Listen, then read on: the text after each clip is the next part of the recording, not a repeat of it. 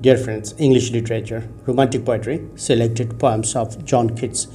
Ode on Melancholy, brief questions with answers, brief questions 1 to 15. Question 1 When and where was Keats born? Answer Keats was born in 1795 in London. Question 2 When did Keats die? Answer Keats died of tuberculosis at the age of 26 in 1821. Question 3 What was carved on his tomb or what was on his epitaph? And so the epitaph carved on his tomb, chosen, chosen by himself, was Here lies one whose name was written in water. Question 4 What was Keats by profession? Answer Keats was uh, apprenticed to a surgeon, but a year before the completion of his apprenticeship, he abandoned the medical profession to devote his life to literature. Question 5 Who is the most romantic of all the romantics? Answer Keats is the most romantic of all the romantics. Question 6 Why is Keats called a pure poet? Answer Keats' poetry contains no moral, political, or social comment. Uh, his poetry is uh, for its own sake. He is concerned only with reality and truth. Therefore, he is called a pure poet. Question 7 Keats was the poet of pain. Why? Answer the sorrow which Keats experienced from the death of his brother Tom and the rejection of his love by Fanny Brawne has been reflected in his poetry, so he is called the poet, poet of pain. Question 8. Of what did Keats receive from medievalism and Hellenism? Answer. He took from medievalism and Hellenism material for fashioning his sequestered, sequestered land of beauty, uh, what he found best, he used for sensuous delight, not ethical inspiration. Question 9. Who carried the tradition of Keats after his death? Answer. Pre-Raphaelites and tradition carried his tradition after his death. Question 10. What is Hellenism? Answer. Hellenism refers generally to Greek culture. The term Hellenism is used for civilization, language, art, and literature, which is essentially Greek in spirit. Question 11 What is sensuousness? Answer By sensuousness, we mean the gratification of the five senses the sense of sight, uh, hearing, touch, smell, and taste. Question 12 What is negative capability? And so, negative capability refers to the poet's ability of keeping himself aloof from his writings. It prevents him from expressing personal feelings and emotions in his poetry. It is also known as objectivity or impersonality.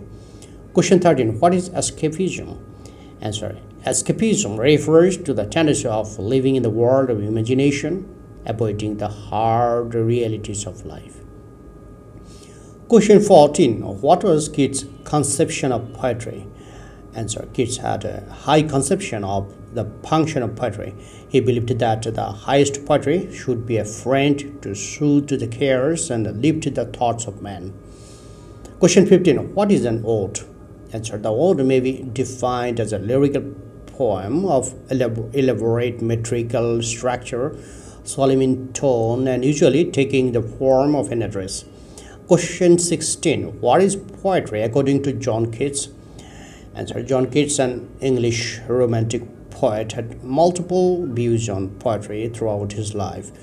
And number one, early views. Keats initially believed that poetry was a way to escape from the harsh realities of life into a dream world of beauty and bliss. Number two, mature views. Keats later came to believe that a great poet should draw substance sustenance uh, from real life and have an intimate understanding of human sorrow. He believed that a poet should be an interpreter of human life. Number three, negative capability. Keats believed uh, that a great poet has negative capability, which is the ability to escape from logic and preconceptions. Uh, he considered this quality to be superior to not having it. Question 4 form. I'm sorry. Uh, number 4 form. Keats believed that uh, form was a key element of successful poetry because it was abstract and distinct from logic. And number 5 the poetic project.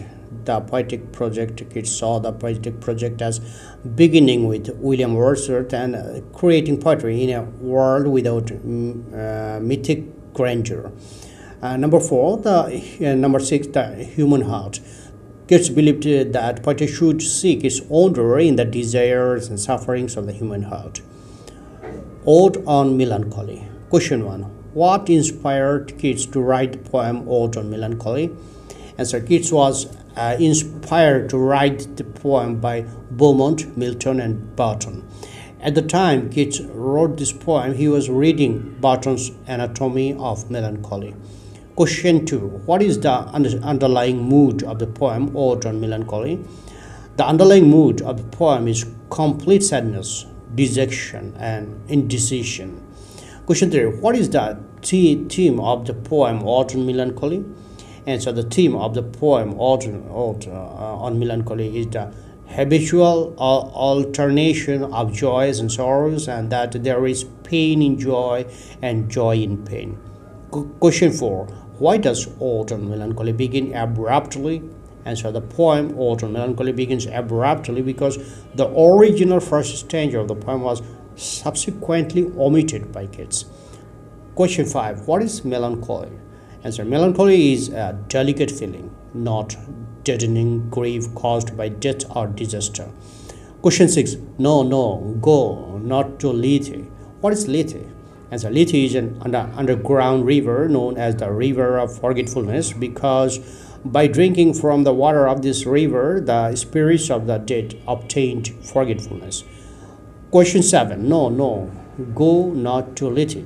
Uh, whom does Keats address here? Answer Keats here addresses the person who seeks melancholy. Question 8.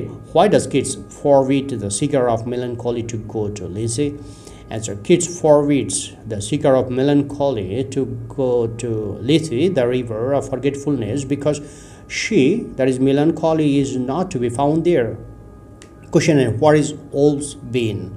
Answer Wolf's bane is the name of a poisonous plant known as aconite the plant was accidentally used uh, for uh, used as a bait for catching wolves and so it is called also bane bane means uh, something that causes trouble and makes one unhappy question 10 uh, why is the wolf's bane required to be twisted answer Also bane is required to be twisted in order to tear off its tight roots and to extract its poisonous juice Question 11. What is nightshade? Answer. Nightshade is a poisonous plant which yields red bright berries. Question 12. Uh, who was Pros Proserpine? Answer. Proserpine was an earthly goddess. Pluto, the king of underworld, fell in love with her and abducted her while she was picking flowers on the plain around Etna in Sicily. Question 13. Uh, what does the ruby grape of Proserpine refer to. The ruby grape refers to the red uh, pomegranate uh, seed which uh, Proserpine had eaten in the underworld, which tied her to the underworld forever. Question 14. What is rosary? Answer. Rosary is a, a string of beads by which the devout count their prayers. Question 15. What is meant by the line, make not your rosary of yew, yew berries? Answer, the yew, the yew is associated with the graveyards because this tree is often grown in churchyard where the dead are buried. In this line, he, the poet urges the seeker after melancholy not to betake himself to melancholy prayers. Question 16. What is beetle? Answer, beetle is a kind of insect uh, with a hard cage on its back covering its wings. Question 7 How is the beetle associated with death? Answer Many people believe that the buzzing of the beetle is an omen of approaching death. Question 18 What is death moth? Answer It is a kind of moth whose body is striped, uh, resembling skull. As it flies, it utters a low, mournful sound. Question 19. What is meant by the mournful psyche? Answer. It means melancholic soul. Question 20. What is meant by weeping cloud? Answer. It means a cloud from which drops of rain are falling. Question 13. What is meant by the droop-headed flowers? And so the droop-headed flowers means those flowers that hang down their heads or the flowers which are associated with sorrow. Question 22. Uh, whom does Keats compare the showers of April rain to? Answer. Keats compares the showers of April rain to a shroud which hides an object from our view. Question 13. Uh, why does Keats compares the showers of April rain to a shroud? Answer. A shroud hides an object uh, from our view. Similarly, the uh, showers of April rain dims the bright and beautiful object of nature. So Keats compares the showers of April rain to a shroud. Question 24. What is an what is a shroud? Answer. A shroud is a piece of cloth that uh, dead person's body is wrapped in before it is buried. It is it also refers to a thing that covers, surrounds, or hides something. Question 25. Where, according to Keats, is true melancholy found? Answer. According to Keats, true melancholy is found in everywhere that is beautiful and joyful, such as morning rose, the colors of the salt uh, scent wave, the abundance of grouped peonies, uh, the bright dark eyes of the beloved, etc. Question 26. What is the source of melancholy? Answer. Every, everything that is beautiful and joyful is the source of melancholy. Question 27. What is meant by a morning rose? Answer. It is a rose that blooms in the morning. A rose eh, in the morning looks more beautiful, but its beauty does not last long. Question 28. What is meant by the, the rainbow of the salt sand wave? Answer. It means the prismatic colors of the rainbow on the sandy beach. This rainbow is sometimes produced by the play of sunlight on the sand left and left white by a retreating wave. Question 29. What is globed uh, peonies? Answer.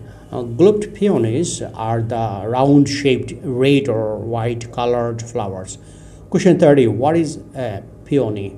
Answer. A peony is a garden plant with large round white, pink or red flowers. Question 31. Uh, why does Keats advise the melancholy seeker to look deep in the beautiful eyes of the beloved? And Keats advises the melancholy seeker to look deep into the beautiful eyes of the beloved because the beauty of the eyes is transitory, which gives rise to melancholy. Question 32. What does Keats associate melancholy with? Keats associates melancholy with beauty. Question 33. Whom does melancholy dwell with? Answer. Melancholy dwells with beauty. Question 34. What is the nature of beauty? Answer. Beauty is transitory by nature. Question 35. Uh, what is meant by the line she duels with beauty? Answer. Uh, beauty is short-lived. Melancholy duels with beauty in the sense that the transitory character of beauty awakens the melancholy mood in the sensitive soul. Question 36. What is the attitude of joy? Answer. The attitude of joy is not that of welcome but of farewell. Question 37. Why does joy uh, always keep his finger on his lips? Answer. Joy keep, always keeps his finger on his lips to bid farewell to his worshippers. Question 38. Why does pleasure turn to poison? Answer. Pleasure turns almost to poison, owing to the feeling of delusionment uh, and disgust which inevitably follow gratification. The sweetness of joy turns to poison as soon as it is tasted. Question 39. Whom does Keats compare a pleasure seeker to? Answer. Keats compares a pleasure seeker to a bee which sucks honey but out of flowers. Question 40. What is shrine? So shrine is a place where people come to worship because it is connected with a holy person or event. Question 41. Oh, where is melancholy shrine to be found? Answer. Melancholy shrine is to be found in the very temple of delight. Question 42. In what sense melancholy remains veiled in the temple of delight? Answer. Melancholy remains veiled in the temple of delight in the sense that she is hidden from dull souls. She cannot be perceived by the common eye. Question 43. What does the very temple of delight stand for? Answer. The very temple of delight stands for the heart of joy. Question 44 Who can perceive melancholy in the, in the temple of delight? Answer Melancholy reveals her face only to those who have experienced the heights of pleasure. Question 45 What is melancholy's relation to delight? Answer Melancholy and delight are inseparable. In the temple of delight, melancholy hides her face under a veil. Question 46 How does a person worship the goddess of melancholy by worshipping the god of joy? And so the god of joy and the goddess of melancholy dwell in the same temple. So the person who worships the god of joy worships the goddess of melancholy. Question 47 What is a trophy? Answer A trophy is, is an object given to as a prize for winning a competition. It is a symbol of conquest. Question 48 What is compared to a cloud at the end of Ode on Melancholy? Answer The soul of man is compared to a cloud at the end of Ode on Melancholy. Question 49 What does melancholy conquer? Answer Melancholy conquers the souls of the person who have experienced the profoundest pleasure. Question 50 What is personified in Ode on Melancholy? Answer Melancholy, beauty, and delight, joy are personified in Ode on Melancholy. Thank you friends for watching my video.